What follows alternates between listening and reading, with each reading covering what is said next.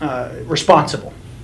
So, um, second to my last question, Yes. immigration. Mm. You know, the border, the, you know, the southern, you know, the southern border. What, what do you, how do you, how will you describe the way President Biden has handled immigration and how do you intend to fix it? Yeah. Well, I would describe how the current administration has handled it as a disaster, uh, and how I plan to fix it is to seal the southern border by any means necessary. They're actually starting to even use the northern border, uh, the Canadian border.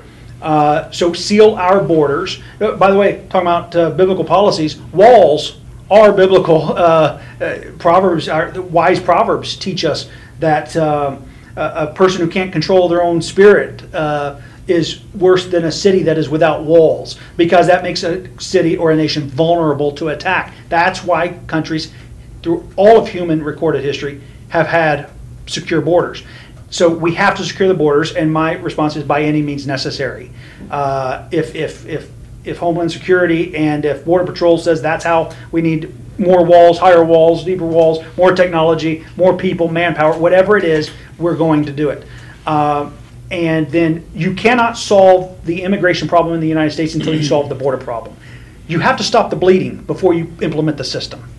Uh, or else the system never actually starts working. So you have to stop the bleeding, then you fix it. And I have a one year, I want a one year application process. The problem is so much fraud right now in immigration uh, through with the attorneys, with uh, people bringing people across and charging ridiculous amounts and, and taking people's life savings just to go to America.